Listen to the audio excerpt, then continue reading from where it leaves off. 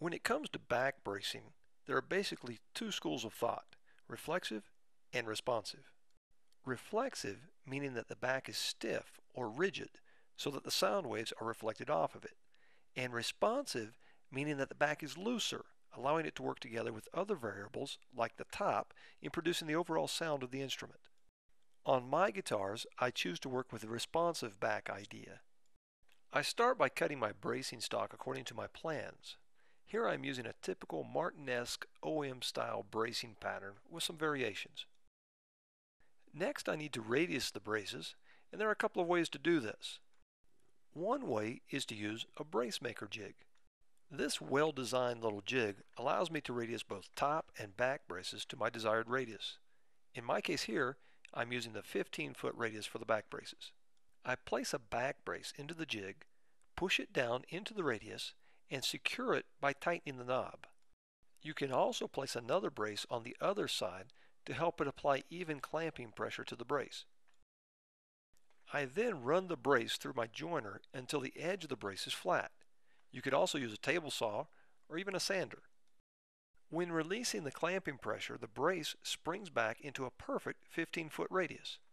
It doesn't get much easier than that. This jig puts a single radius on the edge of the brace. However, the back of the guitar has a dome-shaped radius.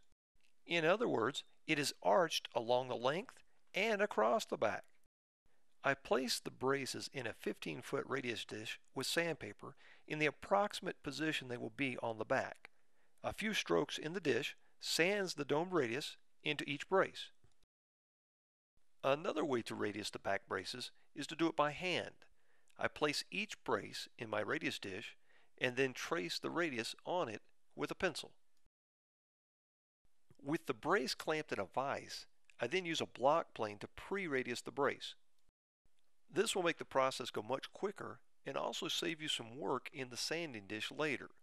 You also don't have to breathe all the sawdust if you use a plane to pre-radius the braces. Now I place each brace in the dish at the approximate position that they will be on the back of my guitar. A few strokes with each brace in the sanding dish will put the exact radius into each brace. When sanding, be very careful to not round over the edges on the bottom of the brace. You want this edge to be crisp so you get a nice glue joint when gluing it to the back. I also number each brace so that I know where each brace goes and that it is facing the right direction on the back. My braces are cut to length so that they are hanging over the perimeter of my guitar by about a quarter inch or around 6.5 millimeters. I like to pre-scallop the edges so I don't have much work to do later.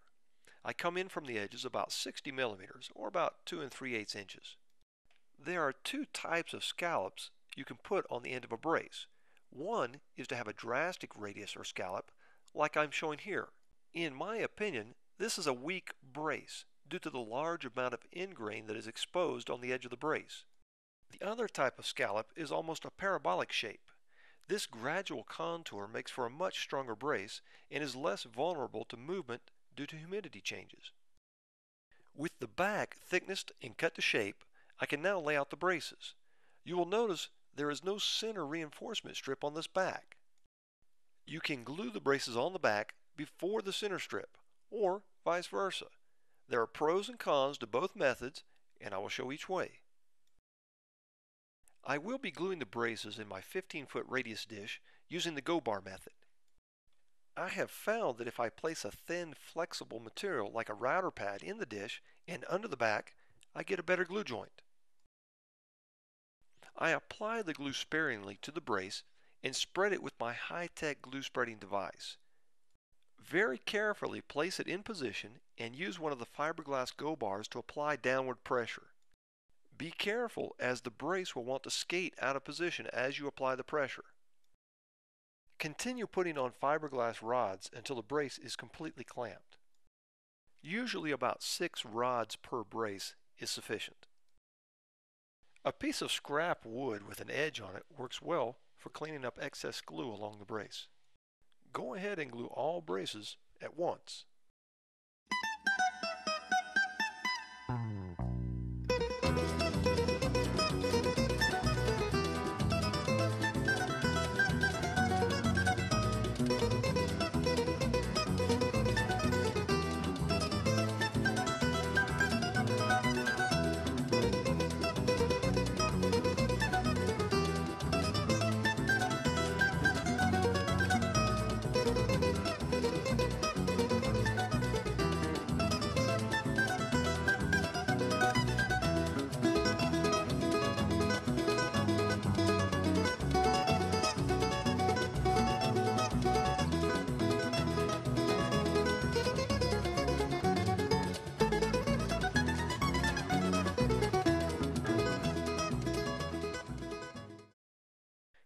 That all the back braces are glued to the back, I can now glue on the center reinforcing strip.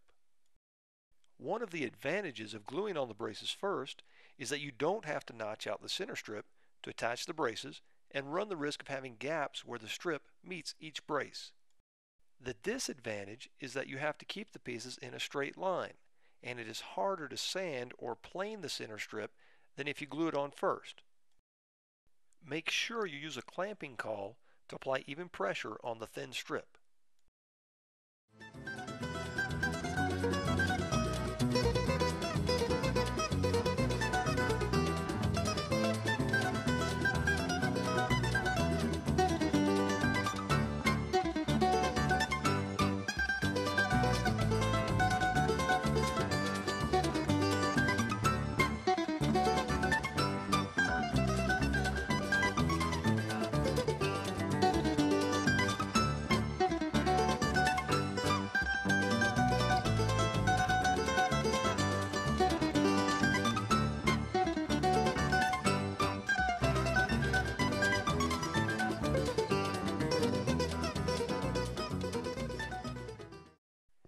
Decide to glue on the center strip first, you can just clamp a straight edge next to it to help keep it aligned.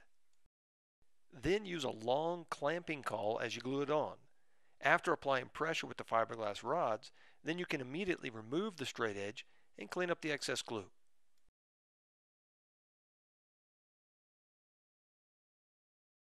After adequate glue time, you can shape the center strip by planing it or sanding it to the thickness and shape you prefer.